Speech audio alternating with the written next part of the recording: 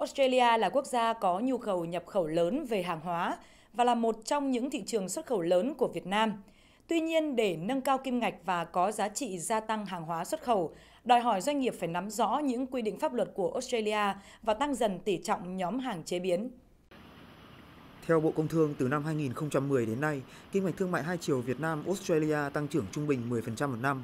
Riêng trong năm 2017, tổng kinh mạch hai chiều Việt Nam Australia đã đạt hơn 6,46 tỷ đô la Mỹ, tăng 22,9% so với năm 2016.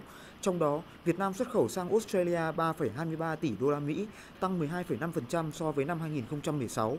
Năm 2018, Australia cắt giảm 90% các loại thuế nhập khẩu hàng hóa. Năm 2020 sẽ cắt giảm 100% thuế xuống 0%. Đây là cơ hội để doanh nghiệp Việt Nam xuất khẩu hàng hóa sang thị trường này. Tuy nhiên, theo tham tán thương mại Việt Nam tại Australia, mặc dù Australia là thị trường lớn, song hàng hóa có xuất xứ từ Việt Nam, đặc biệt là nông lâm thủy sản, xuất hiện trong các hệ thống siêu thị lớn ở Australia còn khá khiêm tốn. Nguyên nhân là do Việt Nam vẫn chưa nghiên cứu bài bản về hệ thống bán lẻ, cách tiếp cận, các quy định về vệ sinh an toàn thực phẩm cũng như các quy định về tiêu chuẩn kỹ thuật có định hướng rõ ràng cho xuất khẩu hàng hóa. Để tận dụng cơ hội gia tăng xuất khẩu vào thị trường này, Cục xúc tiến thương mại Bộ Công Thương Vietjet đề nghị các doanh nghiệp khi xuất khẩu vào thị trường này, hàng hóa phải được dán nhãn bằng tiếng Anh phù hợp với các thông tin về nước sản xuất và xuất xứ, miêu tả chính xác về hàng hóa, địa chỉ người xuất khẩu và nhập khẩu. Bên cạnh đó phải đẩy mạnh tham gia các hoạt động xúc tiến thương mại giới thiệu sản phẩm mới có thể tận dụng cơ hội xuất khẩu bền vững vào Australia.